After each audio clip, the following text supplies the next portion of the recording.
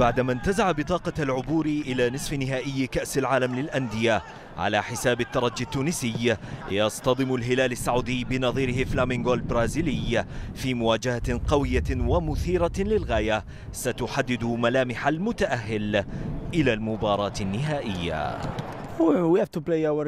يجب علينا أن نلعب اللقاء من أجل الفوز وأن نسجل إنجازا تاريخيا جديدا باسم الهلال. وذلك من خلال الوصول إلى المباراة النهائية. عبد الله عطيف يبدو وأنه البديل المفضل لدى رازفان لوتشيسكو ليعوض غياب الموقوف بسبب البطاقة الحمراء محمد كانو. بينما ما زال الروماني يفاضل بين إدواردو وجوفينكو لصناعة الألعاب. في الوقت الذي لم تتضح بعد هوية رأس الحربة وهنا المفاضلة بين عمر خريبين وغوميز تبعا لجهوزية الأخير.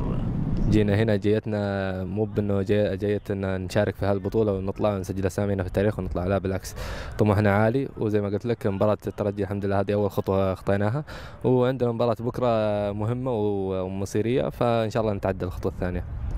في حال تمكن الهلال من تحقيق الفوز على فلامينغو فسوف يكون أول بطل من القارة الآسيوية يتأهل لنهائي كأس العالم للأندية في تاريخه كحامل للقب بطولة دوري أبطال آسيا. بعدما أنهى المهمة الإفريقية الأولى باقتدار أمام الترجي التونسي ها هو الهلال السعودي يلتفت لمواجهة بطل ليبرتادوريس فلامينغو البرازيلي في مهمة لا تقبل القسمة على اثنين. وفى بي إن سبورتس. الدوحة.